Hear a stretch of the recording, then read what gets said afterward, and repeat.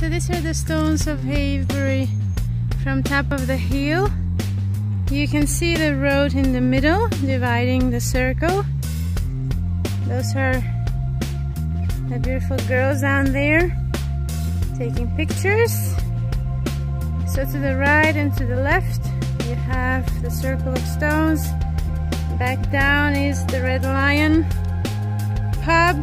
Behind that was the Avebury Manor and the church. And we are about to have a nice and peaceful sunset. There's not a lot of people here today. It's quite empty and beautiful.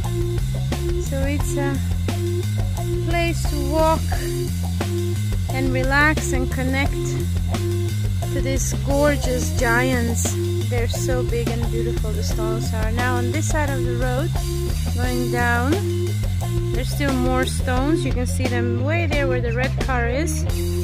There are more stones on that side. As you drive out from Avebury on the road, there's more of those stones. And this is the vastness of beautiful land here. Gorgeous, gorgeous area. I prefer it a lot. I think even better than Stonehenge. There is something about Stonehenge as well, but this is quite amazing. Girls, say hi!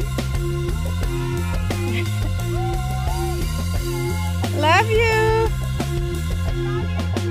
Are you having a good time? Awesome, love you!